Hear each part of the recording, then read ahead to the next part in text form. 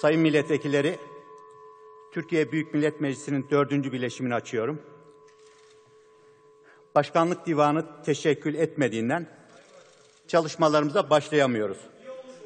Bu nedenle Birleşmiş Milletler Geçici Görev Gücü bünyesinde Türk Silahlı Kuvvetleri'nin 5 Eylül 2015 tarihine itibaren bir yıl daha UNIFIL harekatına iştirak etmesi hususunda anayasanın 92. maddesi uyarınca hükümete izin verilmesine dair Başbakanlık tezkeresini görüşmek üzere 8 Temmuz 2015 Çarşamba günü saat 15'te toplanmak üzere bileşimi kapatıyorum.